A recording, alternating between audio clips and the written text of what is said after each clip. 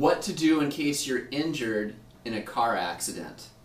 A few weeks ago, my son and myself, we went to a baseball game in Anaheim.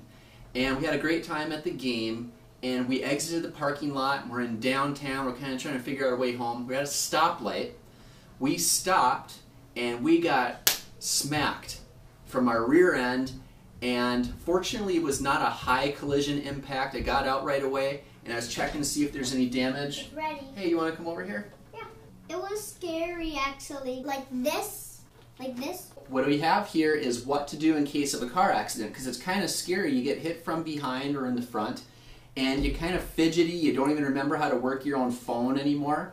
I had somebody come in last week that was just in a car accident. He was trying to take pictures. He couldn't even figure out how to work his phone.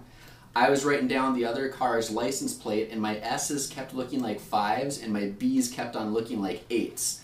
So the information and ask for this at our office on your next appointment. There's a little map here where you can draw the cars that were involved in the collision. And there's a checklist such as obviously pull over, stop, make sure nobody's injured, call the police, give the facts to the police, and call an ambulance if necessary.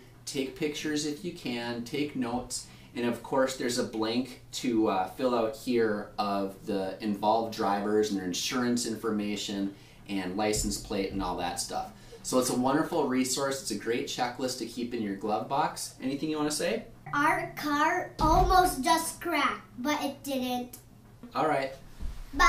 Bye.